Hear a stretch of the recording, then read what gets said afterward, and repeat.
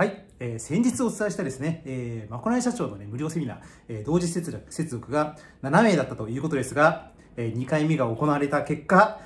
同時接続、今回は14名だったそうでした。まこないちゃんおわこ、おめでとうああ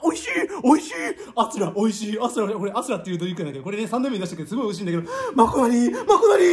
オワコンすぎて、アスラが美味しい。あねどんな気持ち？どんな気持ち？まこなり、まこなり。この14人っていう数字さ、これ、社員さんさ、これ、前回俺言ったじゃん。社員さんにさ、桜やせろって言ったけどさ、社員さん桜やらし、やってくんなかったね、まこなり、まこなり。え、もしかしてさ、君さ、自分の社員から嫌われてるんじゃね？ねだってさ、前回の7人っていうさ、数字見たらさ、それ、あ、これはやばいって言われ、あ、こんな、この数字は捏造しなきゃいけないと思ってさ、ね、桜用意するよね、普通だったらさ、ね、なのにさ、なんで、なんでまた14人ってさ、ね、ま、こなにもしかして社員から嫌われちゃってんの嫌われちゃった？あれ、やっぱり赤字だから、赤字だから、その経営の、経営上の責任を取られて、今、ものすごい窓際社長になっちゃってんじゃないの？まこなりちゃん、まこなりちゃん、まこなり社長が、おわこなり社長だね。ああ、まこなり会長まこなり、まこなり、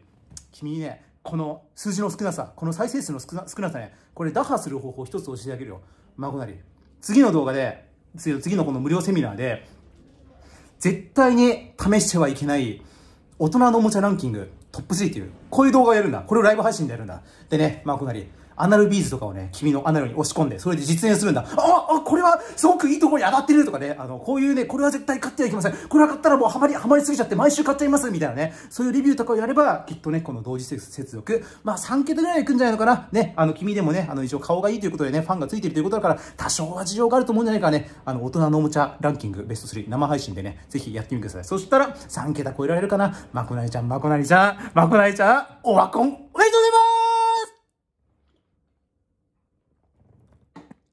お